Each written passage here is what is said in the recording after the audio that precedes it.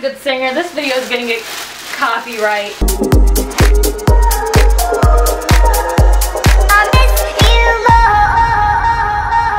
Hey guys, it's Sam. So today I am a lot blonder. I recently got more highlights in my hair and I absolutely love it. I'm hoping to go like completely blonde and yeah, I just, I like it. So if you notice that change, that is what it is. So today I went back to school. Um, I used to do online school if you guys didn't know that and I actually went to regular school this year. I hate it so far. So that's good. But in light of going back to school, I got some school shopping done. Yay! Um, I did a supplies haul already. If you guys like to see that, I will link it down below. I was supposed to do a part two, and I did buy quite a few more school supplies, but they're all in my locker right now. So if you guys do want to see it with gently used school supplies, let me know. Also, do not forget to subscribe down below because my sister left for college today, and I'm a mess, and I need this, okay? I really need this. A lot. Please. Thank you. Okay, so let's start. First things first, this top. I got this top from PacSun and I love it so much. I love the way it has like this little cute necktie and then I also got this bralette and this bralette is from Urban Outfitters. So I wanted to address that quickly. And let's move on to literally everything else I got. Alright, so first place we are going to haul is Sephora.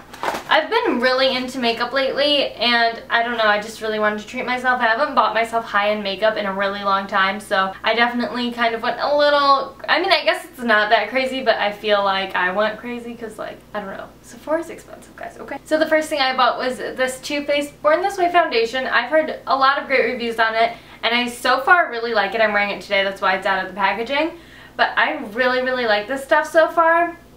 It's nice and it doesn't feel like you're wearing foundation or anything. One thing I will say though is like if you have even remotely oily skin, I do not suggest like wearing this for a super super long period of time if you're not going to bring powder with you. Alright, and then the next thing I got was this Too Faced Better Than Sex waterproof mascara and guys this is like weirdly high quality for like, like it, that's metal. I think it's metal. It feels like metal and the packaging is so cute. And this mascara is honestly amazing. I don't know why I thought that was going to help you guys understand how amazing it is, but let me just say it's amazing. Alright, and then the next place I went to was American Eagle, and I literally got one thing. I got this sweater, and I'm like in love with this sweater, guys. It's cute and like sweater like. That is the back. This is what it looks like in the front and it's light enough to where I can wear it in school and stuff and not die but it's also heavy enough to where I can wear it in the fall and not have to put on like a coat or anything so I really like that. Alright and then the next place I went to was PacSun. Alright I got this really like I don't know I don't know if I like this or not or if I will like it. It's this turtleneck but it's also really long and just like flowy but I like the color that's why I got it. I originally tried it on in maroon, but I have a lot of maroon sweaters and like a lot of maroon fall stuff, so I figured I'd get like kind of a nude one just to see what it looked like. But um, I got this bralette and it's really, really, really cute. I love this. It's so adorable and I just, I love it. Alright, and then the next place I went to was Tilly's. I don't usually go to Tilly's because, I don't know, I just don't really ever go to it. But I got this cool top and I'm excited about it. It looks like this.